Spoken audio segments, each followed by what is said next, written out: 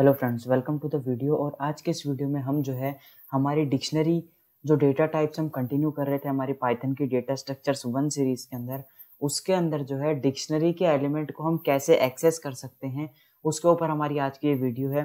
तो बने रहिए इस वीडियो के अंदर। ये वीडियो जो है हमारी बहुत ही इंटरेस्टिंग होने वाली है बिकॉज़ इसके अंदर जो है, हम accessing elements of a dictionary करने वाले हैं जो कि कुछ हटके है, कुछ यूनिक है। जैसे कि हम एलिमेंट्स को एक्सेस करते थे लिस्ट के अंदर से टपल के अंदर। तो लिस्ट और टपल के अंदर क्या होता था? हम डायरेक्टली क्या करते थे? लिस्ट या फिर टपल का नेम और उसके बाद इंडेक्स वैल्यू हम डायरेक्ट ट्रांसफ़र कर देते थे और हम उसका पर्टिकुलर एलिमेंट एक्सेस कर लेते थे।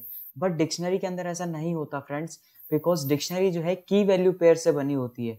तो चलिए देखते हैं इसके डेफिनेशन को और इसके पर्टिकुलर सिंटेक्स को कि हम कैसे एलिमेंट्स को एक्सेस कर सकते हैं एक पर्टिकुलर डिक्शनरी के अंदर से।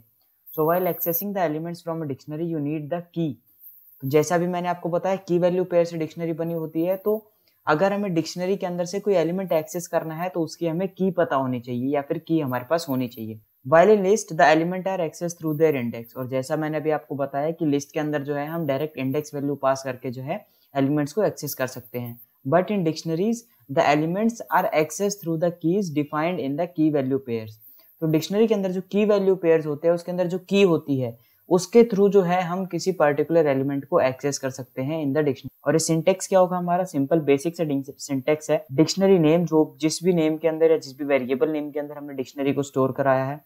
और उसके बाद स्क्वायर ब्रैकेट्स के अंदर हम की पास करेंगे कि मुझे इस पर्टिकुलर की की वैल्यू चाहिए। तो सपोज़ मेरे पास ये एक डिक्शनरी है टीचर्स नाम से, जो कि स्टोर करके रखती है कि कौन सा टीचर कौन सा सब्जेक्ट पढ़ाता है।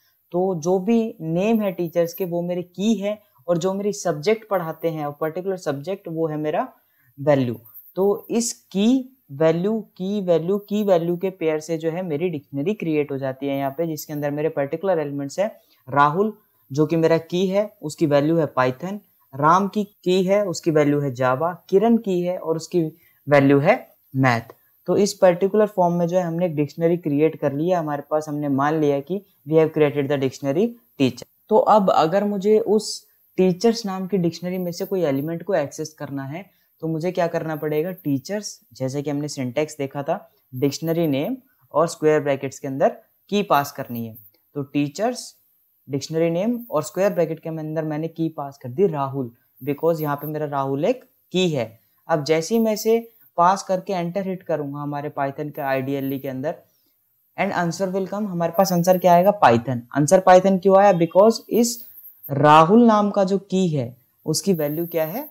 पाइथन है। इसी तरह हम राम, किरण या जितने भी नंबर ऑफ़ एलिमेंट्स की हमारी डिक्शनरी है, उसके पर्टिकुलर एलिमेंट को एक्सेस कर सकते हैं। अब सपोज़ मुझे एक बेसिकली लाइन प्रिंट करनी है कि this teacher teaches this subject तो प्रिंट कमांड का मैं बेसिक यूज़ करूँगा प्रिंट और यहाँ पे नॉर्मल जो हम स्ट्रिंग पास करते हैं, कोई भी मैसेज को प्रिंट करने के लिए, वैसे मैं पास करूँगा। राहुल टीचिस और अब मुझे कौन सा सब्जेक्ट पढ़ाते हैं, उसके लिए मुझे क्या करना पड़ेगा? उस की की वैल्यू जाननी पड़ेगी। तो जैसे हमने यहाँ पे की की वैल्यू पता की थी एलिमेंट एक्सेस किया था, इसी तरह हम यहाँ पास कर देंगे टीचर्स राहुल और पाइथन हमें आउटपुट देगा, राहुल टीचर्स पाइथन